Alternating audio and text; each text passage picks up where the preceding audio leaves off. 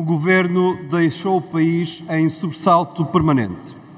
Caos nos hospitais, nas urgências de obstetrícia de norte a sul do país.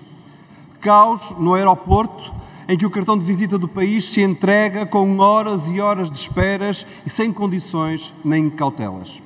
Problemas nas escolas, com milhares de alunos sem professores e com promessas de que o futuro ainda será pior. Atrasos na justiça, onde faltam magistrados e oficiais de justiça e onde o Estado de Direito e o acesso à justiça mostra brechas cada vez mais evidentes. E a cada problema, a cada complicação, a cada crise, o que o Governo tem para anunciar é mais uma mão cheia de nada. Um qualquer plano de contingência, medidas pontuais para problemas estruturais. Senhoras e senhores deputados, este é um governo em modo de contingência.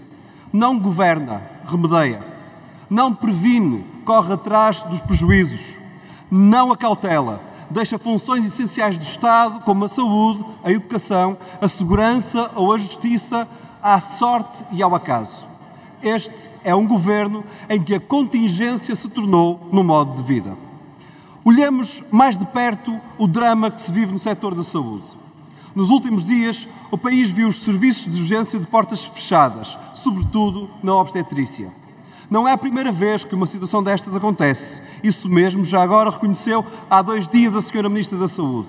Não é um problema de hoje, disse ela. Mas então, se já sabia, por que é que deixou acontecer? A Ministra da Saúde até acerta no diagnóstico, mas falha no tratamento.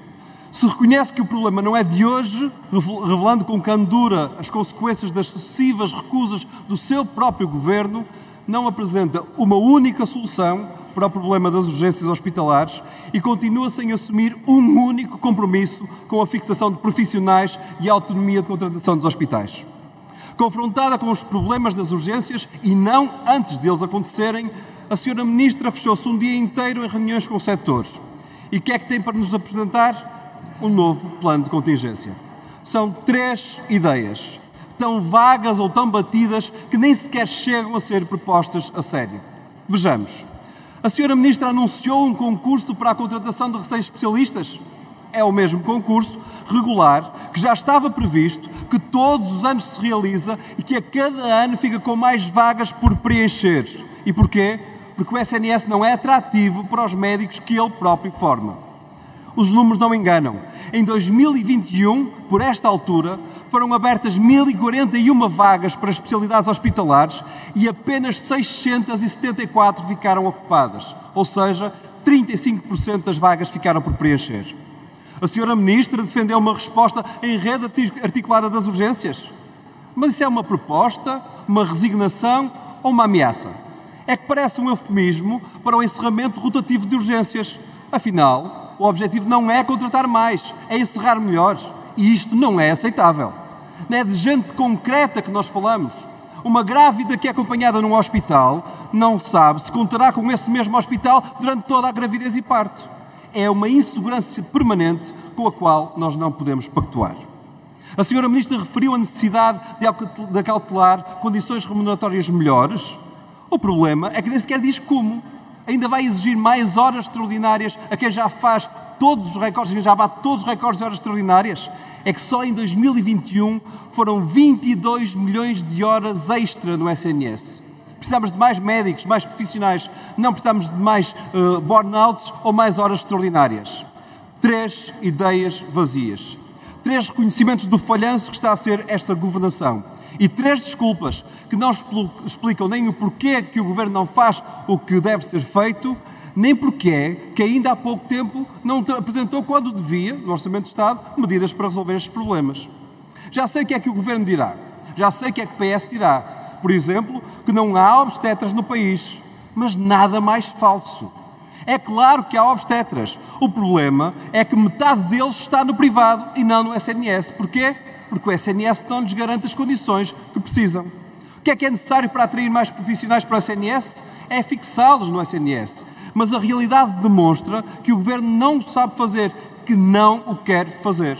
Segundo o portal da Transparência, entre fevereiro e maio deste ano, o SNS perdeu 364 médicos especialistas e 1.109, repito, 1.109 profissionais de saúde no total.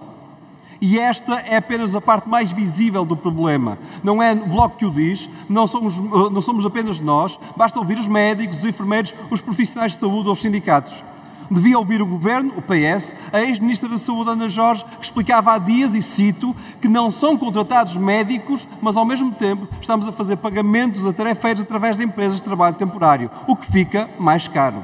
Devia ouvir, por exemplo, o PS, o administrador do Hospital São João, ex-secretário de Estado do PS, Fernando Araújo, que diz que é o governo que está a empurrar os profissionais de saúde para fora do SNS porque lhes diz que é assim que receberão mais dinheiro.